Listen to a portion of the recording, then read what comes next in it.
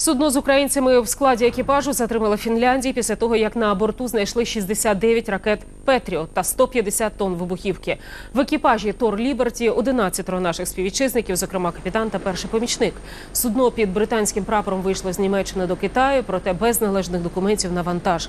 Поки в Фінляндії з'ясовують, кому адресована партія озброєння, моряки лишаються на облавку. Жодних звинувачень проти них не висунули, кажуть в МЗС.